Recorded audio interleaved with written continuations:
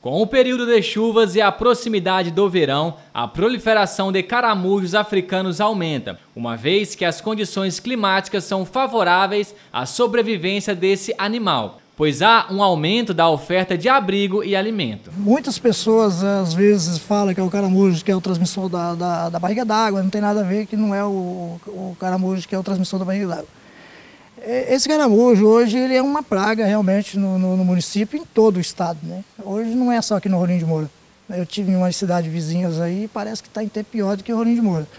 Mas no momento, esse caramujo não, é, ele, é um, ele é muito nojento, né? as pessoas falam que ele é muito nojento e tal.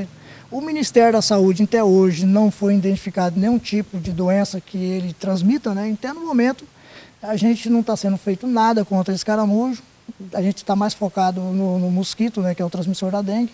É de suma importância que a população tome certos cuidados. Os próprios moradores devem fazer a coleta dos caramujos e dar uma destinação correta. Se tiver eh, mato, restos de, de tijolo, madeira no quintal, é o forte para ele estar criando. Né? Até porque na época da seca né, eles ficam na terra né, e quando começa a chover eles saem e a hora mesmo deles sair para comer, para a alimentação deles é à noite as pessoas devem evitar, né? Evitar estar tá pegando eles na mão. É, existe uma forma de eliminar eles é, com cal. Né? Ele pode estar tá fazendo um buraco na terra, tá coletando eles com a pá, com a sacolinha, com luva.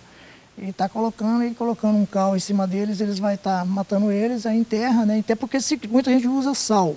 Não é o aconselhável, porque você coloca sal, eles derretem né? e fica a casquinha onde vai estar tá juntando água também e sendo um dos criadores de mosquito também neles, porque a gente já achou muito.